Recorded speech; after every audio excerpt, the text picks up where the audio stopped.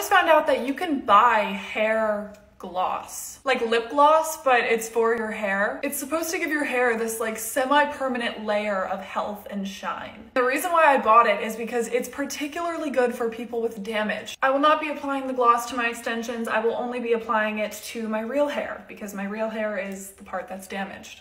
This is how it looks, by the way. It is very thick. Supposed to apply the gloss to clean, dry hair. My hair is definitely dry. Is it clean? This is my hair, very damaged, very dry, doesn't like to flow very much. Let's just apply this. Oh. This is definitely not the way you're supposed to do it, but I really don't know how else to go about it.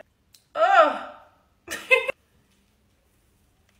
wanna make a mohawk so bad. I think I've saturated my whole head. I have short hair and I used a pretty good amount. You could probably use this container like two to four times if you have my length hair. I'm supposed to just let it sit for 20 minutes. It's been 20 minutes, I'm gonna rinse it out. I didn't wanna skew the results, so I didn't straighten it or style it. I literally just let it air dry. I feel like the shine is about the same, but it does look smoother, right? Or is that just me? It definitely feels smoother. I feel like the color looks a bit more vibrant. Like, don't you think it looks a bit more like warm tone? Before I did the gloss, it looked a bit more dull and gray. Does it flow better? Maybe a little.